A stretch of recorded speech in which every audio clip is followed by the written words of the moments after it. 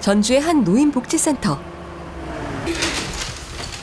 안녕하세요. 안녕하세요. 아예 어서오세요. 봉투 가득 담긴 의문의 흰가루를 챙기는 명진 씨. 그거 못 쓰는 종이 아닌가요? 그리고 저희들은 또 가져가셔서 좋고 좋은 일에 사용해서 좋고 여러모로 좋습니다. 네, 좋은 일 해주세요. 아유, 고맙습니다. 네, 고맙습니다. 네, 너무 감사드려요.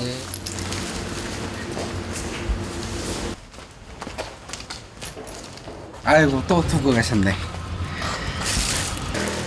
그의 유별난 종이 사랑을 아는 지역 주민들은 지나가는 곳곳에 파쇄 종이를 놔둔다는데요.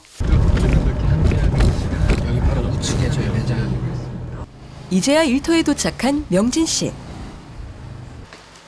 아침에 받아온 파쇄 종이를 챙겨 들어가는데요. 안녕하세요. 왔습니다.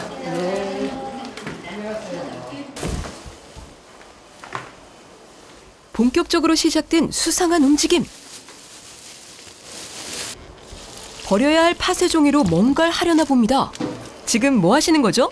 종이에 그렇게 물 부으면 안 되는 거 아닌가요? 종이가 일단 작게 잘리면 재활용이 좀 어렵다고 생각하시면 되고요. 쓰레기를 가지고 새로운 종이를 만든다라고 생각을 하시면 네, 맞습니다.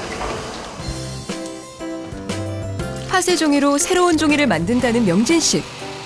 물에 불린 종이를 믹서에 갈기까지 하는데요.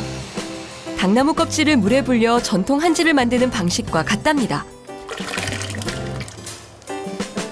잘 갈린 종이를 다시 물에 담으면 준비 끝.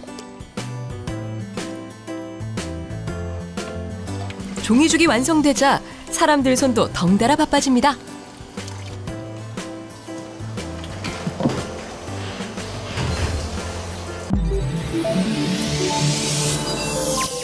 KBS